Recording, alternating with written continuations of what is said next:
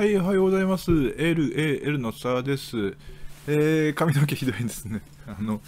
明日ようやく、あの、徳屋さん予約取れまして、あの、いつもお願いしてるお姉さんってのはすごいね、人気者っていうか、予約がぎっちりでね、なかなかよう取れなかったんですけどもね、えー、予約、あの、明日予約取れたもんですんで、髪の毛切ってさっぱりしてきます。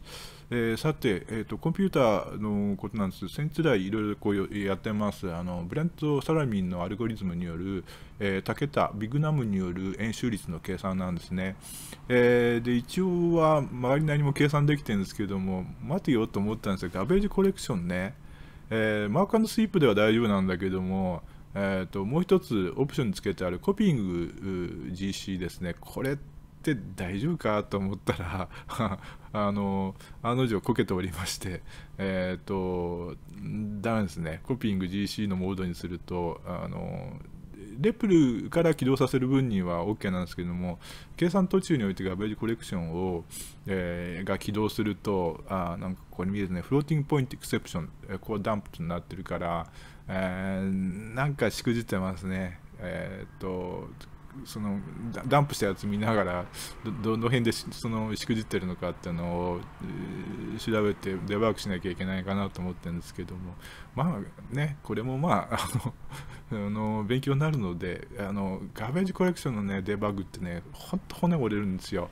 追跡するのがなかなか大変でガベージコレクションに関してはね。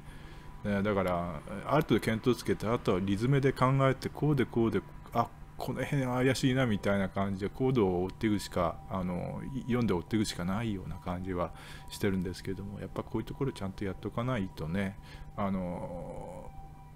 なんていうのこれがあの商用商用の処理系で採算を考えて利益出さないといけないってなると、えー、そんなコピング GC だとかなんとかなんていうのは出来合いのあのえー、ライブラリに任せてそこはやらないとかね、あとビッグナムに関しても性能のいい、えー、いろいろそういうライブラリがあるんで、そういうのを採用しちゃえばいいんですけれども、あの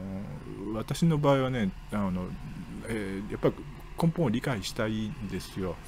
で、も拙いながらもやっぱり自分なりに動作を理解して、アルゴリズムを理解して、えー、実装をやり遂げたいというタイプの人なもんですんですね、まあ、私の場合の、えーと、採算度外視でやっても全然 OK なもんですんで、えー、そんなふうなことでやっております。えー、うん、そんなだな。やっぱりリスパていうのはやっぱりそのぐらいやんないとなみたいな感じでその辺から出来合いの持ってきてはい動いたぜでリスパーかえ それみたいな感じがするんでね。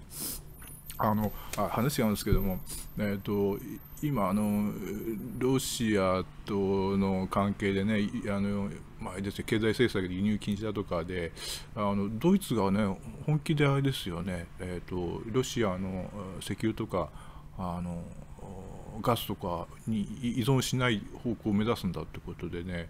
えー、これは面白くなってきたぞっていう感じです。っていうのはあのドイツ人極めて優秀ですからね彼らねものづくりに関してもすごいですから。えー、代替エネルギー開発しちゃうんじゃないですかね、核融合反応なのか、あるいは水素エネルギーなのかなんか分かりませんけれども、えー、もうあの化石燃料に頼らないっていう風な方向打ち出すんであれば、あ国を挙げてあの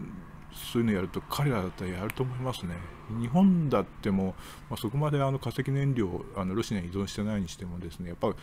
まあついなっていうのがね、中東であの問題起きると、日本になっても直ちに干上がっちゃいますからね、そうと代替エネルギーを本格的にやらないと、あの日本という国が滅びてしまうということだって十分考えられるものですから、これはチャンスを捉えて、じゃああの石油とか化石燃料に依存しないという、でそれも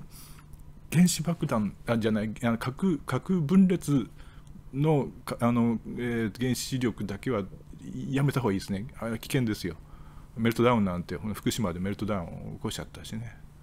あそういえばね、私として話がそうですあの、えー、とこの間の、えー、小さい時に見たね、あのレインボー戦隊、あのロビン、レインボー戦隊ロビンね、見ててね、これ小さい時だったんでね、ほとんど覚えてなかったの最終回かな、あのすっごい感動的なシーンがあるんですよ。あの敵を倒すためにねその、えー、人間側のちその指揮官がですね、えー、もうすごくこう強強的な敵を倒すためにやむを得ない原子爆弾を使うっていうふうなことを言い出すんですけどもロビンがねそれはそれはダメですと。あの僕は何とかしますから原子爆弾は絶対使わないでください。でまあなんとかあの敵を仕留めるんですけどもあの YouTube で見れますから あのロビンであのやるとねすっごい感動的ですよ。え、っといかなる時でもその生きてるものに対して原子爆弾を使うってことはあったはならないとかそういうセリフが出てくるんですよ。すごいね。やっぱ日本だからねいろいろとあのあったからね広島とか長崎とかねだからそういうあのセリフが入るのだから昔のアニメってすごい深かったのね。幼稚園の時見たけれども